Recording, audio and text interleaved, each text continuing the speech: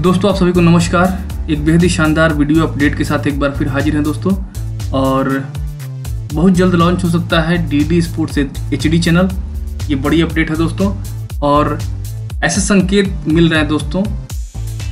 पूरी अपडेट देंगे आज के इस वीडियो में। और दोस्तों, जैसा कि आप जानते हैं डी डी स्पोर्ट्स चैनल उपलब्ध है D D free free dish platform पर। और उस पर अभी जो भी लाइव मैचेस होते हैं दोस्तों जनरली काफ़ी सारे खास करके क्रिकेट, इंडियन क्रिकेट टीम जब खेलती है दोस्तों तो लाइव मैचेस आपको देखने के लिए मिलते ही हैं।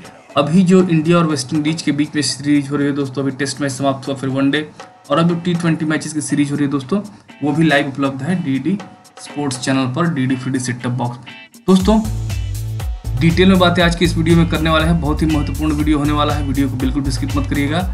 लास्ट तक ज़रूर देखिएगा दोस्तों। और अगर आपने अभी तक हमारे चैनल को सब्सक्राइब नहीं किया तो सब्सक्राइब भी कर लीजिएगा। दोस्तों टेस्ट ट्रांसमिशन तीन अगस्त को दोस्तों टेस्ट ट्रांसमिशन कुछ समय के लिए डी डी स्पोर्ट्स एचडी का शुरू किया गया था D D free dish platform पर। तो दोस्तों, ये एक संकेत है कि अगर टेस्ट ट्रांसमिशन भले ही कुछ देर के लिए शुरू रहा और उसके बाद फिर बंद कर दिया गया तो ये एक संकेत है कि D D sports HD channel launch हो सकता है। दोस्तों, जो India versus West Indies cricket series चल रही है, जो मैचेस आप देख रहे हैं दोस्तों। आपने एक चीज़ ध्यान दी होगी दोस्तों, गौर किया होगा कि डीडी नेशनल एचडी पर दोस्तों, जो ये मैच है, ये भी प्रसारित किया गया, जो भी पिछला टी ट्वेंटी मैच भी हुआ था दोस्तों।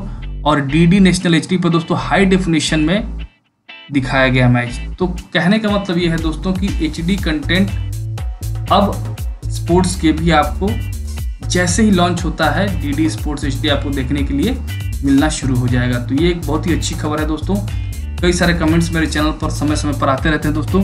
जिसमें जब कोई भी नया चैनल ऐड होता है तो एक डिमांड और प्रसार भारती की तरफ़ से सारे व्यूवर्स करते हैं कि डी डी स्पोर्ट्स का एक एचडी चैनल लॉन्च होना चाहिए तो ये बड़ा अच्छा रहेगा। तो दोस्तों, भले कुछ समय के लिए टेस्ट ट्रांसमिशन शुरू किया गया था स्पोर्ट्स एचडी का, उसके बाद बंद कर दिया गया, लेकिन एक संकेत तो है दोस्तों कि लॉन्च हो सकता है डी स्पोर्ट्स एचडी चैनल दोस्तों, उम्मीद करता हूँ ये इन्फॉर्मेशन आप सभी को पसंद आई होगी। अगर वीडियो अच्छा लगा तो प्लीज़ चैनल सब्सक्राइब करना मत भूलिएगा। साथ ही साथ नोटिफिकेशन भी लेकर प्रेस करिएगा ताकि हमारे चैनल से जुड़ी अपडेट आपको सबसे पहले और आसानी से उपलब्ध हो सके। आप सभी का दोस्तों, ये वीडियो देखने के लिए बहुत बहुत धन्यवाद।